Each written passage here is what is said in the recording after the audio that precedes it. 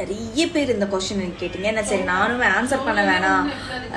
அப்படின்னு நினைச்சிட்டு இருந்தேன் ஆனால் நிறைய பேர் கேட்டுக்கிட்டே இருக்கிறீங்க. இங்க பாருங்க என்னோட கல்யாணத்துக்கு என்னோட கிளாஸ் ஃப்ரெண்ட்ஸ் வரலன்னா அப்போ நீங்க யோசிச்சு பாருங்க. அப்ப அது எந்த அளவுக்கு எமர்ஜென்சியில் நடந்திருக்கும் எந்த ஒரு பிளானிங்கும் இல்லாம நடந்த விஷயம். என்னோட ட்ரெஸ்ஸிங் பார்த்தாலே தெரியும். என்னோட பிளவுஸ் ஒர்க் பார்த்தாலே தெரியும்.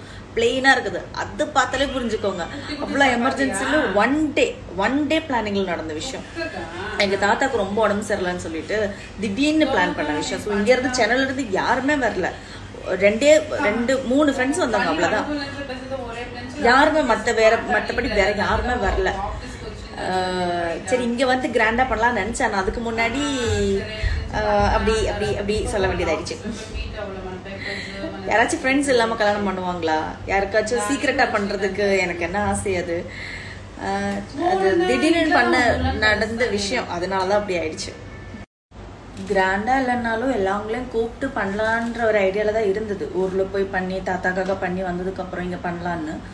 ஆனால் அங்கே கல்யாணம் பண்ணி மூணாவது நாளே தாத்தா இறந்துட்டாரு. அதுக்கப்புறம் தோணல. ஃபங்க்ஷன் வைக்கணும் எல்லாம் தோணல. அட்டே பொண்ணு பண்ணிட்டு தானே இருக்கு. அதுக்கு முன்னாடி அடுத்த அப்டேட்டா இதோ இந்த தானே இந்த சம்பவம் தானே. எனக்குமே தெரியல இது எப்போ வந்துச்சுன்னு தெரியல இது எப்போ போக போகுதுன்னு தெரியல. ஃபர்ஸ்ட் சின்னதா ஒரு குட்டி பிம்பிளாக வந்துச்சு. நான் தான் அது சரியா கவனிக்காம அப்படியே விட்டு இது சிஸ்ட் மாதிரி இப்போ கொழுப்பு கட்டை மாதிரி இருக்குது போல. அதுக்கப்புறம் பார்க்குறதுக்கு லைட்டா நல்லா இருக்கா? ஏதோ ஏதோ ஒரு மாதிரி நல்லா இருக்கா? அதனால அப்படியே விட்டேன். எடுக்கணுமா? அச்சோ இதுக்கு நான் என்னத்தை ரிப்ளை பண்ண? ஒருத்தர் ரெண்டு பேர்னா பரவாயில்ல. நிறைய பேர் இருக்காங்களே. நிறைய நிறைய நிறைய பேர். உங்களுக்கு தெரிஞ்சவங்களும் நிறைய பேர் இருக்காங்க. உங்களுக்கு தெரியாதவங்களும் நிறைய பேர் இருக்காங்க. நான் தூங்க தான் செய்வேன்.